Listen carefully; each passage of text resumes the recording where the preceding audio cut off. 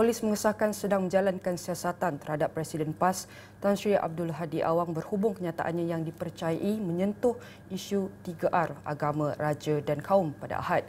Menurut Timbalan Pengarah Forensik atau Perancangan Strategik Jabatan Siasatan Jenayah Bukit Aman, Datuk GS Suresh Kumar, Abdul Hadi mendakwa DAP mahu mengekalkan pengertian Islam di dalam perlembagaan berdasarkan tafsiran penjajah yang menjunjung liberalisme dan kebebasan yang diamalkan oleh negara barat.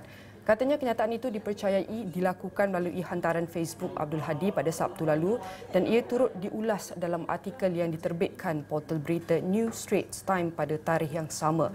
Justru itu, siasatan dijalankan oleh Unit Siasatan Jenayah Terkelas bahagian D5 Jabatan Siasatan Jenayah Bukit Aman di bawah Seksyen 4 Kurungan 1 Akta Hasutan 1948 dan Seksyen 233 Akta Komunikasi dan Multimedia 1998. Suresh menegaskan siasatan masih dijalankan dan orang ramai dinasihatkan agar tidak membuat sebarang spekulasi yang boleh mengganggu proses siasatan. Tindakan tegas akan diambil terhadap mana-mana pihak yang bertindak menggugat ketenteraman awam dan keselamatan negara.